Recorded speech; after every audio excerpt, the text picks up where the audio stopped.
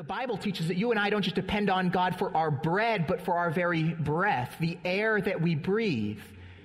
Uh, uh, Daniel, when he was speaking to King Belshazzar in, in Daniel chapter 4, excuse me, in Daniel chapter 5, he says to, to the king, the very breath that you breathe is in God's hands.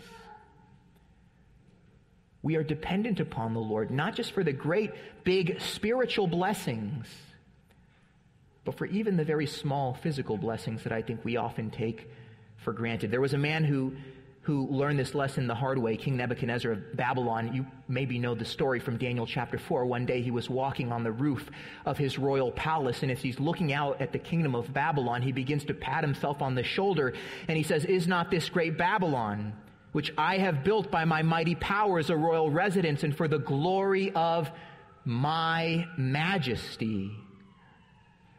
And you remember what God did to him?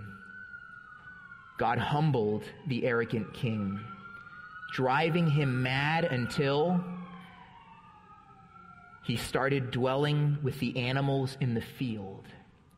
And his hair became long and matted. He would eat grass like an ox. His fingernails got all nasty, his toenails the same.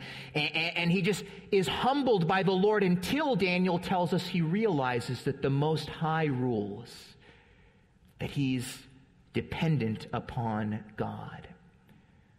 And let me just tell you, God will humble you too. If you think that your life is in your hands, if you, like foolish Nebuchadnezzar, look around at your house and you say to yourself, boy, look at all the, the wonderful things that I have built.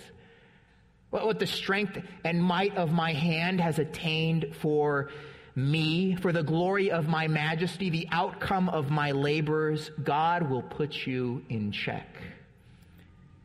And he will teach you that you aren't just saved by his divine power, but you are upheld and sustained every moment of every day by his divine power.